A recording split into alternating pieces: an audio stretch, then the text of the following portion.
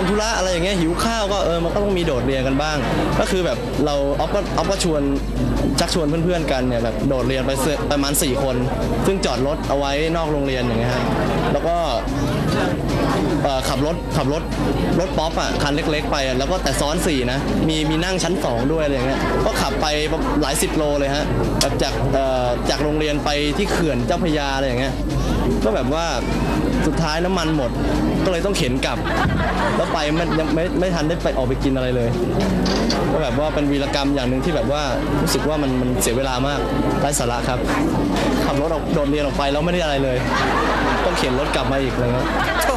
ที่ไรสาระเนี่ยไม่ใช่เพราะโดดเรียน แต่เจ็บใจที่โดดแล้วเนี่ยไม่ได้อะไรเลย ส่วนน้องปีใหม่นะครับก็ไม่ขอน้อยหน้า